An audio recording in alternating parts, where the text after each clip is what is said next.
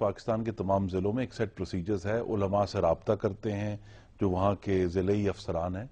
लेकिन जो काम हमारा बतौर सियासी जमातों का, हम सब का है और उलमा का भी है। वो यही है, ये पैगाम यक जबान होकर देना कि मासूम पाकिस्तानियों का कत्ल किसी भी तरह जायज़ नहीं है।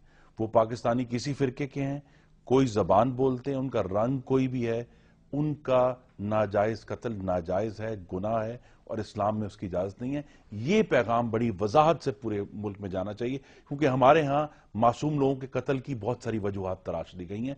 ये पैगाम होना चाहिए कि पाकिस्तानी जो शहरी है जो मुसलमान हमारे भाई और बहनें हैं जो दूसरे मजाहब के भी मेरे भाई और बहनें हैं किसी का भी मासूम पाकिस्तानी का कत्ल जायज़ नहीं। लेकिन आइन में तो कहा गया है कि तमाम पाकिस्तान के शहरी बराबर हैं और हर शहरी की जानो माल का तहफ़ हुकूमत की तो ज़िम्मेदारी है। इसीलिए ये हुकूमत अपनी ज़िम्मेदारी पूरी कर रही है, कोशिश कर रही है। ओलमा से भी रबते करते हैं ज़िले की जिला जिला की सतह पर भी, सूबाई सतहों पर भी मुझे यकीन है कि तमाम सूबाई हुकूमतें जो हैं, इसी मोडस ऑफ़र एंडाई पर काम कर रही हैं।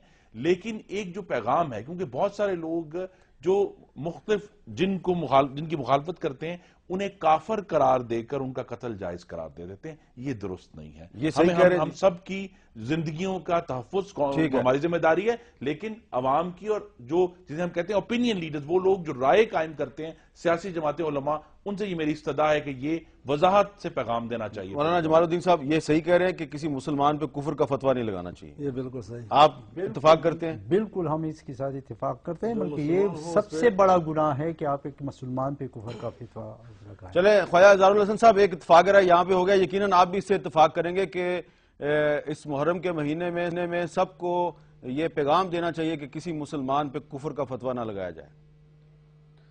बिल्कुल जनाब ये तो है और इसके अलावा मैं ये भी कहूँ सिर्फ़ मुहर्रम ही नहीं यहाँ तो रबी अव्वल या दीगर हाँ। तमाम और आ, मौके पे भी वही थ्रेड्स होते हैं लेकिन एक मैं जुमला ज़रूर कहूँगा कि पूरी दुनिया में एथनिक और रिलीजन कॉन्फ्लिक्ट के ऊपर काम हो रहा है हामिद मीर साहब तालीमी तौर पर समाजी तौर पर और माशरती तौर पर हुकूमतें बाकायदा डिज़ाइन करती हैं अपनी आबादी को ताकि ये पोलराइजेशन खत्म हो। लेकिन पाकिस्तान के अंदर इस हसास मसले को संजीदगी से कभी नहीं लिया गया। मुहर्रम का महीना शुरू हो चुका है नया हिजरी साल भी शुरू हो, हो चुका है। आपको नया हिजरी साल मुबारक हो।